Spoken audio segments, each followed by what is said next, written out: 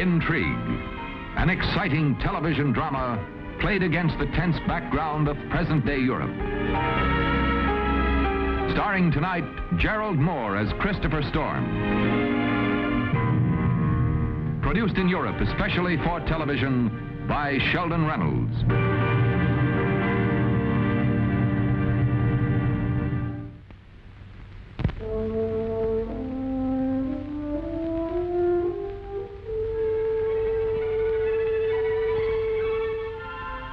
Main Street in Vienna is a boulevard called the Ring. It encircles the oldest part of the city, including one of the former town palaces of the Habsburg dynasty. But there are other rings in Vienna. The city itself is a closed circle to the outside world, a special circle, with special rules inside. But the mixture of people is highly spiced on this tight little island. And many of them have spent a lifetime living by their own rules.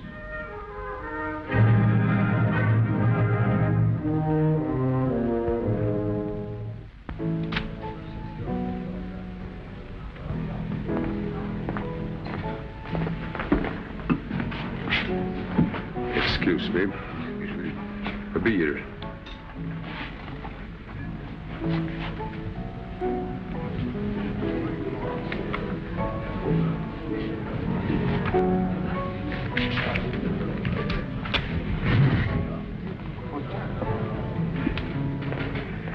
Wonderful, wonderful place, Vienna. It's a shame I only can stay a few days.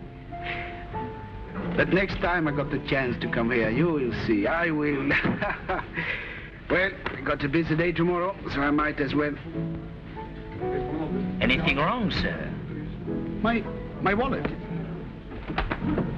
My wallet. It's gone.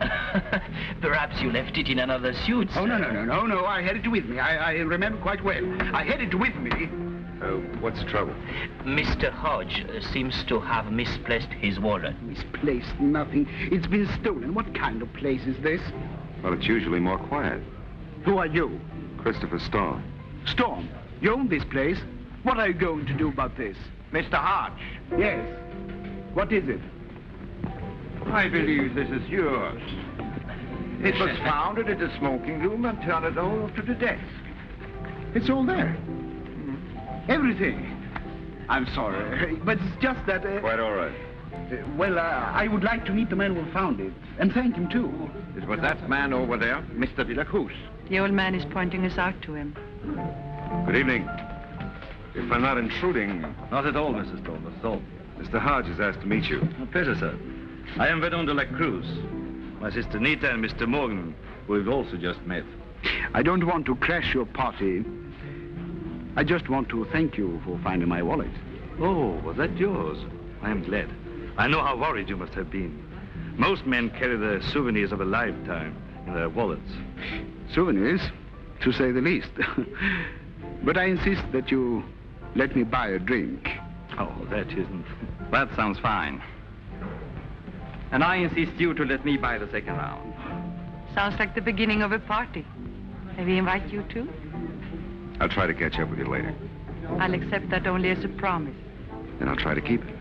In Vienna on vacation or business, Mr. Hodge?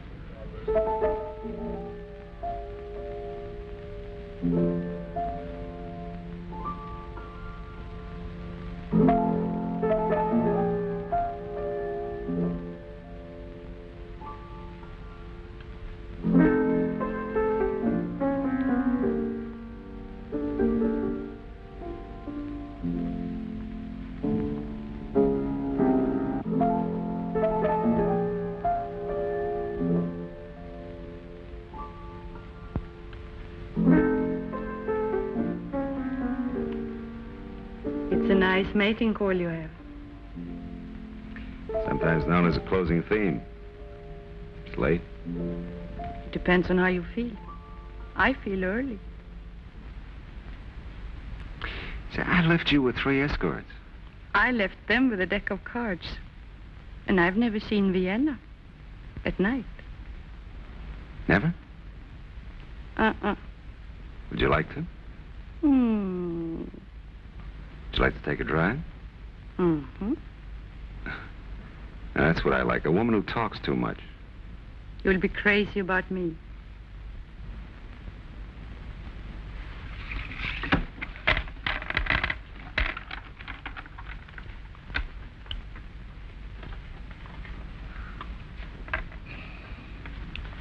I will open.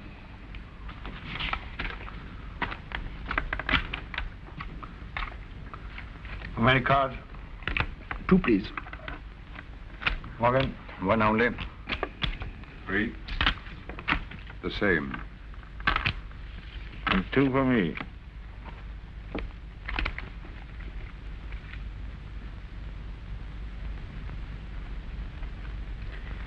I'm good for a hundred.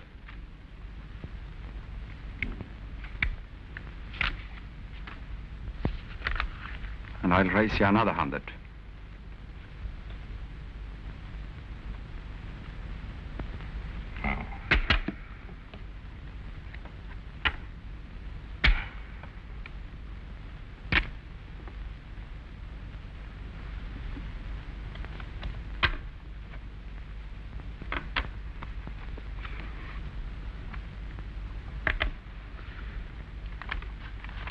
I'll call you.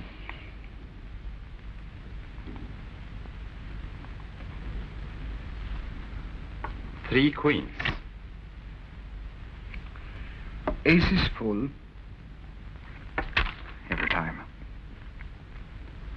I finally get a hand, and he has better. Our friend has certainly been lucky. Maybe. There's all kinds of luck. Some people make their own. Now, wait a minute, Stefan. Mr. Hodge is my guest here. I think you owe him an apology. Now I understand. You're all together in this, and I'm the sucker. That's ridiculous. I owe you something, all right. It's not an apology.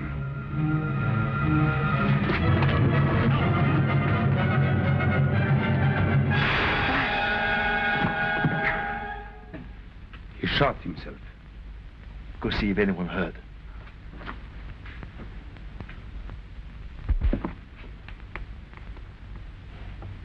Is he dead? I'm afraid so.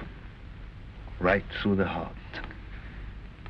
But it was an accident. We all know that. Hmm. The police may think differently.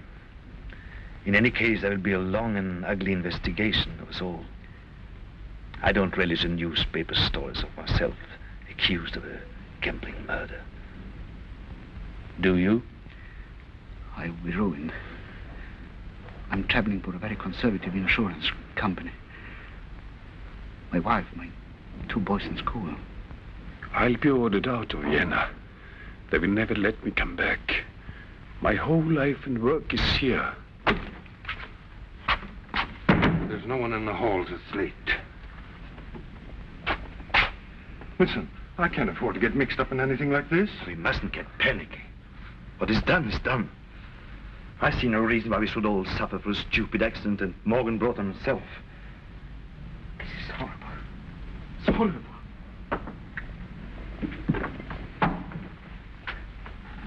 I have some good friends in Vienna. For enough money on right places, what has happened here can be concealed and forgotten forever. You can have all my cash, and I'll sign all my traveler's checks over to you. All the money I have is on the table. I can get some more at home. And be right back. The better hurry. I hope we can raise enough between us, Hodge. Hmm? Oh. Here, here. Take whatever you need. Hmm. All that I am carrying, I'm afraid, will still be short. There is a cashier's check for $5,000 in it. Well, that might do it. Just leave everything to me now. I must have some help with the with the body, of course. Hodge, you go back to your room. You stay there. Don't answer the phone, not the door. And try to leave Vienna just as soon as you can. Can you remain here for a while? And from now on, none of us know each other. Don't try to contact one another next week or even next year. Take no chances. I should thank you, but uh, No time for that.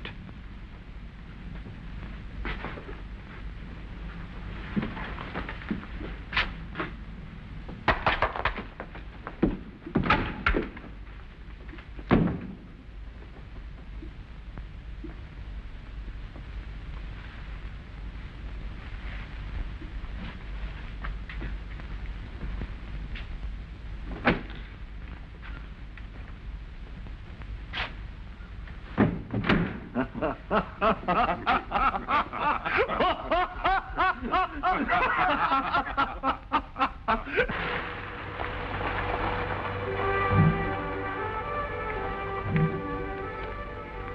ever so humble, here we are. Mm-hmm. You're repeating yourself. hey, you have to make a plane in the morning.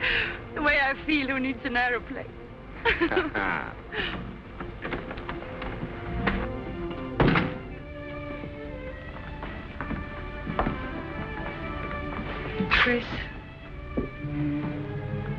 don't ask me any questions. But I wish this was another night, in another place, and that there were no aeroplanes in the morning. Sounds very wide awake and serious. It is, Mr. Storm. It's so serious I could cry. Anything I did? Everything you did.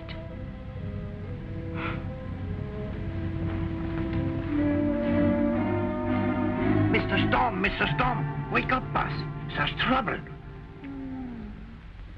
Oh, go away. I've got my own. You know, it's a tourist fellow named Hodge. He took a whole bunch of sleeping pill last night. Dead? I don't know. They rushed him to the hospital. But the police are all over the hotel. What should I tell them? What do you know? Nothing.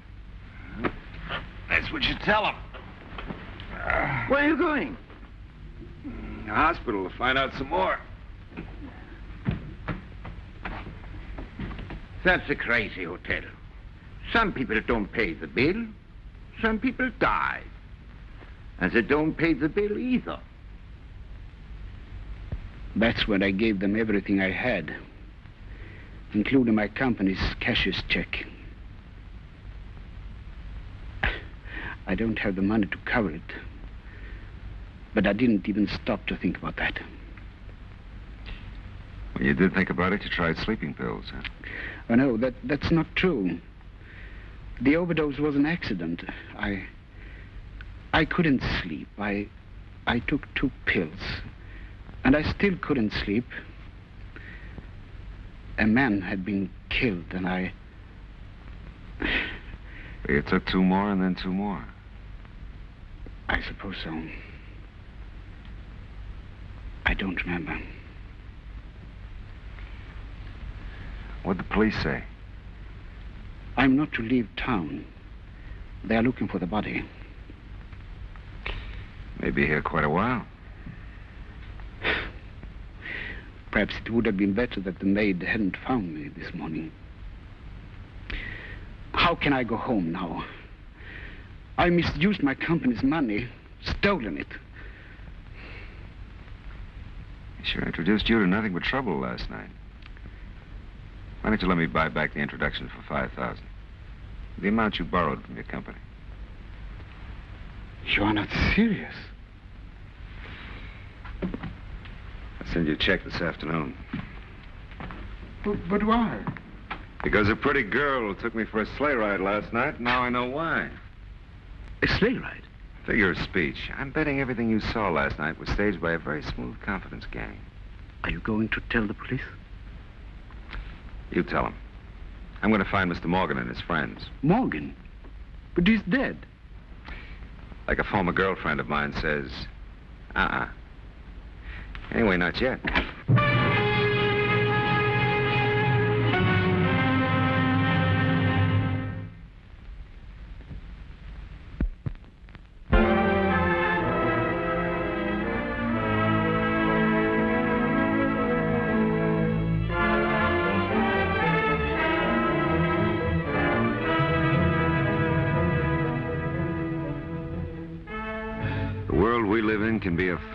Scrambling snake pit. And I try to keep that in mind before I take a swing at the next guy. But I can get awfully mad at myself sometimes. Guys like Hodge shouldn't have to keep their guard up when they travel. Guys like me are supposed to do it for them. But I've been swimming around in a pair of big eyes last night. But then there are the accidental souvenirs of adventure, sometimes known as clues. The little lady and I might still have another dance. First step was to find out where Snow White and her four crooks might have run to. I didn't waste time with phony forwarding addresses. They were booked for a plane to Spain, but the airline called. And They didn't make it. I gotta figure out where they did go. Dodo, here's a special little gizmo for little pink ears. Let's find out where it came from, huh? Yes, sir. Stocky, you must have seen that baggage. How many pieces? Five. And when they arrived? Four. But this time they were taking Mr. Morgan's back, too. How were they dressed? Hat, gloves, and the girl wore a fur coat. A little warm for Spain this time of year. Mr. Storm, I think this comes from Sweden. No doubt about it. Now that sounds more like hat, coat, and gloves. Dodo, find the cab driver who took him to the airport, huh? Right away. Stocky, I want to check on any telegrams or long-distance calls they may have made. The switchboard operator keeps in record.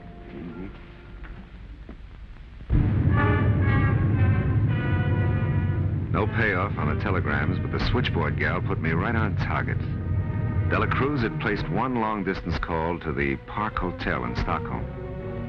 Even before I spoke to the cab driver who had taken him to the airport, I put in a rush order for a ticket to Stockholm.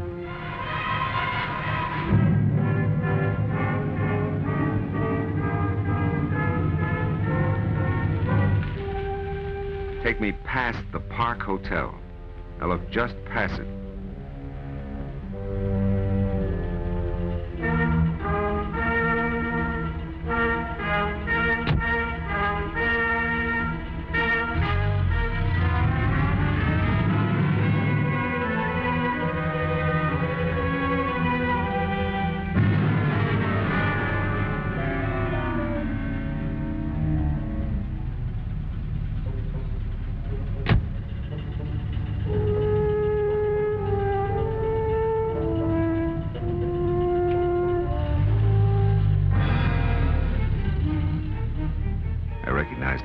Right away. The little man fitted one of the descriptions I'd received from Hodge.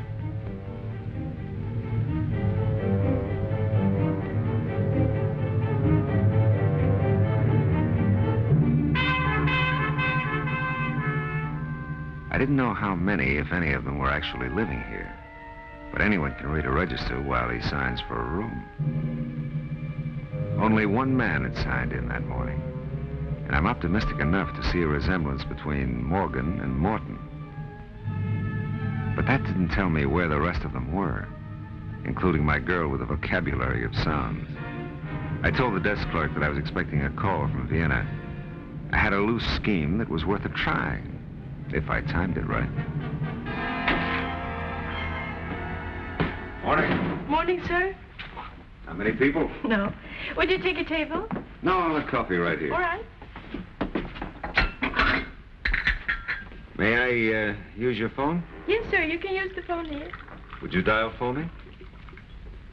I'm sorry, sir. Do you know the telephone number of the hotel across the street? Why, yes. Oh, well, good. What I'd like you to do is dial all the numbers except the last one. Hmm? But the hotel is just across the street. I don't understand Oh, why. it's a joke. My friends in the hotel will die laughing. Now, in a few minutes, I'll go across the street and go into the hotel. When I do, you pretend to be the long-distance operator. Say that you have a Vienna call for Mr. Christopher Storm. That's me. Mr. Christopher Storm. That's right. Can you do it? Yes, Mr. Storm? Good. Start dialing.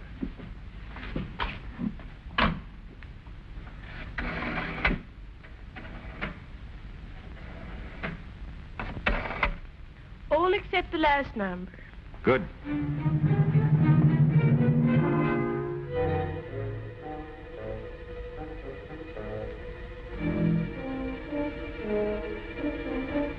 We go. But this is much too much. I've been saving.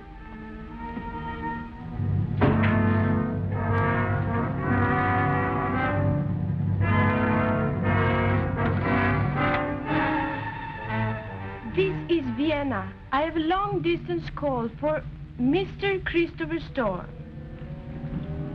Oh, Mr. Storm, I have the call you expected from Vienna. Oh, fine. I'll take it here. Hello. Hello, Inspector. Inspector Colmar. Yeah, fine.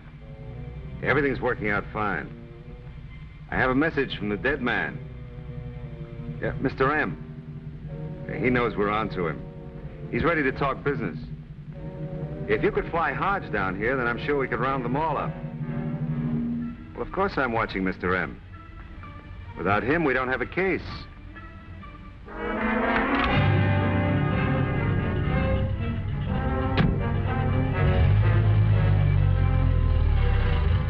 If my little friend would behave like a good pointer, everything would be perfect.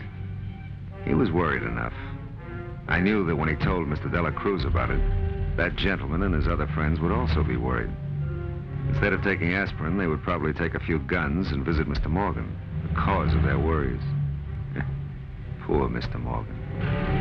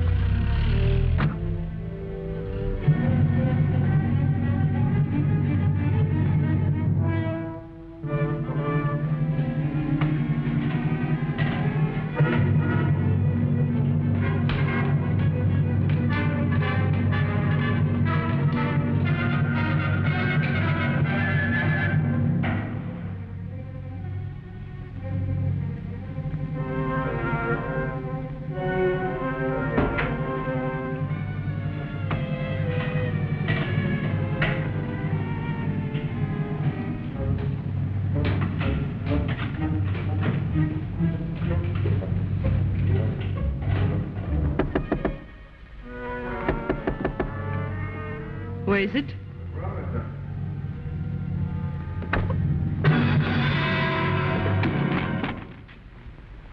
Chris!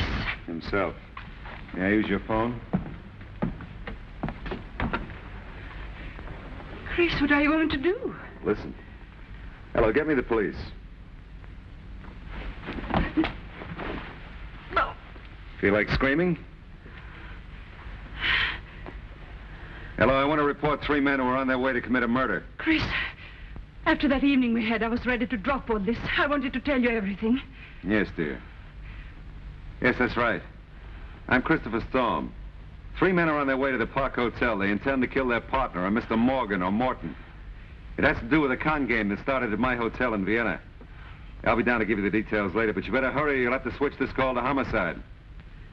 Yeah, you're welcome. You were saying? I mean it, Chris. Just like I meant it last night. I'm sure you do. You must believe it. I was drifting around when I ran into Dela Cruz. This isn't my kind of life. If I'd met you first, everything would have been different. It still can be different for us. It won't be easy. I'll have to cover up. Dela Cruz may talk. You could do it, Chris. Nobody asks you questions in Vienna. We could catch the evening plane. We could. Hold on to me, Chris. People like us don't get lucky very often. Get your coat. Let's get out of here. It'll only take me a moment to pack. No time for that. Just get your coat.